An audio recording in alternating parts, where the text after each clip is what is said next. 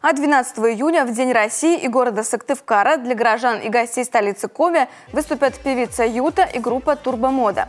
Звезды приглашены за счет компаний-партнеров. Юта – заслуженная артистка России, композитор, автор и исполнитель собственных песен. Турбомода – танцевальная поп-группа, творчество которой напоминает стиль «Руки вверх». Артисты выступят с вечерней программой на Стефановской площади.